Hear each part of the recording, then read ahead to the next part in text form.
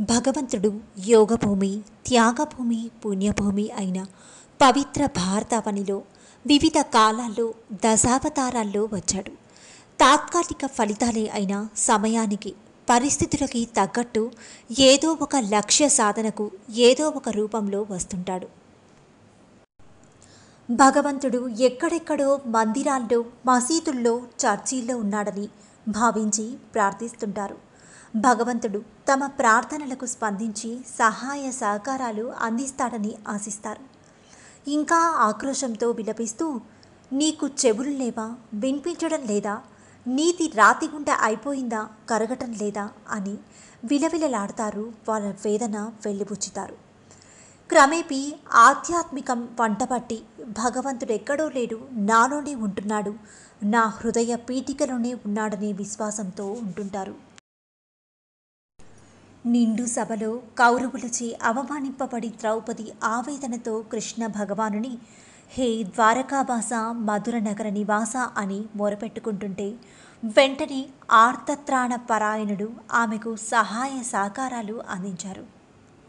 ఆ విధంగా పరిత్రాణాయ సాధునాం అని ఆనాడు పలికిన కలియుగంలో ధర్మం క్షీణించి మానవతా విలువలు మట్టిలో కలిసిపోయి తోటి మనిషిని హింసించి ఆనందించే నేపథ్యంలో భగవానుడు శ్రీ శ్రీ శ్రీ సత్యసాయి బాబాగా అవతరించి ప్రేమ అనే దివ్యాస్త్రంతో ప్రపంచ రూపురేఖల్ని మార్చడానికి కృషి చేశారు. ప్రేమ రెండక్షరముల పదమే అయినప్పటికీ దీని విలువ అత్యధికమైనది. ప్రేమ లేకున్నా ప్రాణమే లేదు. ప్రేమను సత్యధర్మ శాంతి అహింసలయందు అంతర్వాహినిగా ప్రవహింపచేసుకోవాలి. ప్రేమను మన చర్యలలో నిరూపించిన అదే ధర్మమవుతుంది. ప్రేమతో కూడిన భావం శాంతి ప్రేమను అర్థం చేసుకున్నప్పుడు అది అహింస కాదు. ప్రేమ మన ఆలోచనలో సంకల్పంలో ప్రవేశిస్తే అది సత్యం. ప్రేమతో కూడిన భావం శాంతి. ప్రేమను అర్థం చేసుకున్నప్పుడు అది అహింస అవుతుంది. మనో వాకాయ కర్మల చేత దివ్యత్వాన్ని సేవించటం భక్తి. భక్తికి రూపం ప్రేమ. దైనందిన కార్యక్రమాన్ని ప్రేమతో ప్రారంభించు. దినమంతా ప్రేమతో నింపు. ప్రేమతోనే రోజును ముగించు. అది భగవంతుని చేరే మార్గం అని ప్రేమకు నిర్వచనం చెప్తారు భగవాన్ శ్రీ సత్యసాయిబాబా వారు. సత్యసాయిబాబాకి తల్లిదండ్రులు పెట్టిన పేరు సత్యనారాయణ రాజు. ఆయన పంతొమ్మిది వందల ఇరవై ఆరు నవంబర్ ఇరవై మూడున జన్మించారు. వారి తండ్రి వెంకప్పరాజు తల్లి ఈశ్వరమ్మ. ఓ నిరుపేద వ్యవసాయ కుటుంబంలో అనంతపురం జిల్లాలోని పుట్టపర్తి అనే కుగ్రామంలో జన్మించారు. ఇరవైవ శతాబ్దంలో ప్రసిద్ధి చెందిన మతగురువు సత్యనారాయణ వ్రతం తరువాత పుట్టిన సంతానం కనుక పిల్లవాడికి అలా పేరు పెట్టారు. బిడ్డ పుట్టిన సందర్భంలో ఇంట్లో సంగీత వాద్యాలు వాటంతట అవే మ్రోగాయి అని చెప్పుకుంటారు.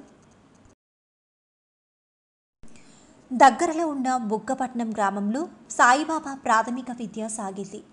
చిన్న వయసులోని నాటకాలు సంగీతం కవిత్వం నటన వంటి కళల్లో ప్రావీణ్యాన్ని కనబరిచారు. తరువాత ఉరవకొండ ఉన్నత పాఠశాలలో చదివారు. మార్చ్ ఎనిమిది పంతొమ్మిది వందల నలభైన కొంత విచిత్రమైన ప్రవర్తన కనబరిచారు. ఈ ఘటన తరువాత అతని ప్రవర్తనలో మార్పులు కనబడసాగాయి. సమాధి స్థితిలో ఉన్నట్లుగా ఉండేవారు సత్యసాయిబాబా వారు. పురాతన శ్లోకాలు చెప్పేవారు. భోజనం సరిగ్గా చేసేవారు కాదు. పంతొమ్మిది వందల నలభైలో తాను షిరిడీ సాయిబాబా అవతారమని ప్రకటించారు. అదే పేరు తనకు పెట్టుకున్నారు. పంతొమ్మిది వందల నలభై అక్టోబర్ ఇరవైలో తన పద్నాలుగు ఏళ్ళ వయసప్పుడు తాను పుస్తకాలు వదిలేసి నా భక్తులు నన్ను పిలుస్తున్నారు నా పని నాకుంది అని చెప్పాడట. తరువాత మూడేళ్ళ పాటు ఎక్కువ సమయం దగ్గరలోని ఒక తోటలో చెట్టు క్రింద గడిపారు. అప్పుడే ఆయన చుట్టూ ప్రజలు గుమికూటం మొదలైంది. వారితో అతను భజనలు చేయించేవారు. ఆ సమయంలోనే తాను ఈ కాలానికి చెందిన అవతారమని ప్రకటించారు. అప్పటి నుండి సాయిబాబా అదే విషయం చెబుతూ వచ్చారు. పంతొమ్మిది వందల నలభై రెండు నాటి బుక్కపట్నం స్కూల్ రికార్డులో ఆయన పేరుంది. పంతొమ్మిది వందల నలభై నాలుగులో బాబా వారి భక్తులు ఒక గుడిని కట్టారు. ప్రస్తుతం దానిని పాత మందిరం అని అంటారు. ప్రస్తుతం ఆశ్రమమైన ప్రశాంతి నిలయం నిర్మాణం పంతొమ్మిది వందల నలభై ఎనిమిదిలో మొదలైంది. పంతొమ్మిది వందల అరవై మూడులో తన ప్రవచనంలో బాబావారు తాను శివుడు శక్తిల అవతారమని ప్రకటించారు. అదే ప్రవచనంలో తాను షిర్డీ సాయిబాబా అవతారమని భవిష్యత్తులో ప్రేమ సాయిబాబాగా అవతరిస్తానని తెలిపారు. బాబా జీవిత కథ పుస్తకమైన సత్యం శివం సుందరంలో ప్రేమ సాయిబాబా అవతరణ మైసూర్ రాష్ట్రంలో జరుగుతుందని వ్రాయబడింది. షిరిడి సాయిబాబా భక్తురాలైన శారదాదేవి కథనం ప్రకారం తన మరణకాలంలో షిరిడి సాయిబాబా ఆమెకు తాను మరో ఎనిమిది సంవత్సరాలలో సత్య పేరుతో ఆంధ్రప్రదేశ్లో అవతరిస్తాను అని చెప్పారట. సత్య సాయిబాబా పేరు జన్మదినం జన్మస్థలం ఈ కథనానికి సరిపోతాయి. సత్య సాయిబాబాకు ఇద్దరు అక్కలు ఒక అన్న శేషమరాజు ఒక తమ్ముడు జానకిరామయ్య ఉన్నారు. రెండు వేల మూడులో జరిగిన ఒక ప్రమాదంలో సత్య సాయిబాబా తుంటి ఎముకకు గాయమైంది. రెండు వేల ఐదు నాటికి ఆయన చక్రాల కుర్చీ వాడటం ప్రారంభించారు. పంతొమ్మిది వందల యాభై ఎనిమిదిలో సత్యసాయిబాబా అనుచరులు సనాతన సారథి అనే అధికారిక పత్రికను ప్రచురించడం ప్రారంభించారు. పంతొమ్మిది వందల అరవై నుండి పాశ్చాత్య దేశాల నుండి ఆధ్యాత్మిక విషయాలపై ఆసక్తి ఉన్నవారు సత్యసాయిని సందర్శించడం అధికమైంది. ఒక్క పంతొమ్మిది వందల అరవై ఎనిమిదిలో మాత్రమే ఈశాన్య ఆఫ్రికా ప్రాంతానికి సాయిబాబా భారతదేశం దాటి బయటకు వెళ్ళారు. కానీ ఆయన అనుచరులు భక్తులు సంస్థలు ప్రపంచవ్యాప్తంగా విస్తరించి ఉన్నాయి. పంతొమ్మిది వందల అరవైలో ఒక ప్రవచనంలో తాను ఈ మానవ రూపంలో ఇంకా యాభై తొమ్మిది సంవత్సరాలు ఉంటానని తెలిపారు. పంతొమ్మిది వందల ఎనభై నాలుగులో ప్రచురింపబడిన ఒక పుస్తకంలో బాబా ఇలా చెప్పారని వ్రాయబడింది. నా పాత శరీరంలో నేను ముసలివాడను బలహీనుణ్ణి అయ్యాను కానీ ఈ కొత్త శరీరంలో అలా కాను. సాయిబాబాకు గీత అనే పెంపుడు ఏనుగుండేది. గుండె ఏనుగుగా ఆయనకు బహుకరింపబడిన ఆ ఏనుగు ప్రశాంతి నిలయ ఉత్సవాలలో తరచూ వాడేవారు. రెండు వేల ఏడు మే ఇరవై రెండులో ఆ ఏనుగు చనిపోయింది. తరువాత సత్యగీత అనే మరో ఏనుగు దాని స్థానంలో ఉంది. శ్వాసకోశ మూత్రపిండాల ఛాతీ సంబంధిత సమస్యలతో బాధపడుతున్న సత్యసాయిబాబా వారిని ఆసుపత్రిలో రెండు వేల పదకొండు మార్చ్ ఇరవై ఎనిమిదిన చికిత్స నిమిత్తం చేర్చారు. దాదాపు నెల రోజులైనా ఆయన ఆరోగ్యం మెరుగుపడలేదు. ఏప్రిల్ ఇరవై నాలుగవ తేదీన ఉదయం ఏడు గంటల నలభై నిమిషాలకు ఆయన తుది శ్వాస విడిచారు. బాబా పార్థివ దేహానికి వేద మంత్రోచ్చరణల మధ్య ఏప్రిల్ ఇరవై ఏడవ తేదీన బుధవారం ఉదయం మహాసమాధి జరిగింది. పుట్టపర్తి ప్రశాంత్ నిలయంలోని కుల్వంత్ హాల్లోనే అన్ని కార్యక్రమాలు శాస్త్రోక్తంగా జరిగాయి. రెండు వేల పదకొండు జూలై పదిహేను నుంచి సత్య సాయిబాబా మహాసమాధి దర్శనాన్ని ప్రారంభించారు. సత్యసాయిబాబా తన జన్మస్థలమైన పుట్టపర్తిలోనే నివాసం ఉండేవారు. ఒకప్పటి ఈ చిన్న గ్రామం బాగా పెరిగిపోయింది. ఇక్కడ ఒక విశ్వవిద్యాలయం చైతన్య జ్యోతి అనే ఒక పెద్ద మత ప్రదర్శనశాల దీని డిజైన్కి చాలా అవార్డులు లభించాయి. ఒక ఆధ్యాత్మిక మ్యూజియం ఒక రైల్వే స్టేషన్ ఒక కొండ అంచు క్రీడాంగణం విమానాశ్రయం ఇండోర్ క్రీడాంగణం వంటి పెక్కు సదుపాయాలు ఆవిర్భవించాయి. పుట్టపర్తి ఆశ్రమానికి భారతదేశపు ప్రముఖ నాయకులు అతిథులుగా వచ్చేవారు. సత్య సాయిబాబా ఎనభైవ జన్మదినోత్సవానికి ప్రపంచం నలుమూల నుండి పది లక్షల మంది సందర్శకులు వచ్చారని అంచనా. ఇందులో భారతదేశం నూట ఎనభై ఇతర దేశాల నుండి పదమూడు వేల మంది ప్రతినిధులున్నారు. సంవత్సరంలో అధిక భాగం బాబా నివాసం ప్రశాంతి నిలయంలోనే ఉండేది. వేసవి కాలంలో కొన్ని రోజులు బెంగళూరులోని బృందావనం ఆశ్రమంలో గడిపేవారు.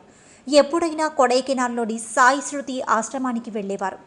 సత్య సాయిబాబా మూడు ముఖ్య మందిరాలను స్థాపించారు. అవి ముంబైలోని ధర్మక్షేత్రం అదే సత్యం హైదరాబాద్లోని శివం చెన్నైలోని సుందరం బాబా ఆశ్రమాలలో దినచర్య ఉదయం ఓంకార స్మరణ శుభ్రభాతాలతో మొదలవుతుంది.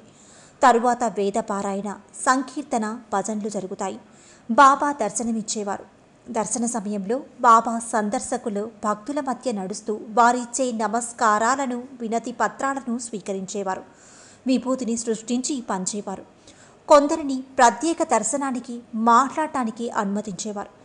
ఇలా ఏకాంతంగా బాబాతో మాట్లాడి ఆయనకు తమ మనసులోని మాటను విన్నవించుకోవడం భక్తులకు ఎంతో సంతోషదాయకంగా ఉండేది.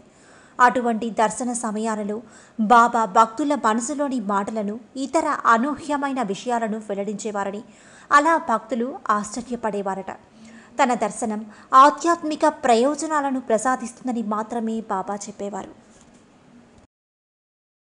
అనంతపురం జిల్లాలోని పుట్టపర్తి దేశానికే తలమానకం. ఒకప్పుడు చిన్న గ్రామంగా ఉన్న పుట్టపర్తి పట్టణం ఆధ్యాత్మిక గురువు సత్య సాయిబాబా ప్రభావంతో ఆధ్యాత్మిక కేంద్రంగా అభివృద్ధి చెందిన సంగతి తెలిసిందే. చిత్రావతి నది ఒడ్డున ఉన్న పుట్టపర్తిలో పంతొమ్మిది వందల యాభైలో ప్రశాంతి నిలయం ఏర్పాటు చేశారు. అప్పటి నుంచి పుట్టపర్తిలో సందర్శకుల తాకిడి పెరిగింది. ప్రశాంతి నిలయంలో సత్యసాయి ప్రవచనాలు వినేందుకు దేశ విదేశాల నుంచి నిత్యం వేలాది మంది భక్తులు ఇక్కడికి విచ్చేసేవారు. దీంతో ప్రపంచ స్థాయిలోనూ పుట్టపర్తికి ప్రత్యేక గుర్తింపు లభించింది. పుట్టపర్తి కేవలం ఆధ్యాత్మికంగానే కాకుండా విద్య ఆరోగ్య కేంద్రకాను బాసిల్లుతోంది.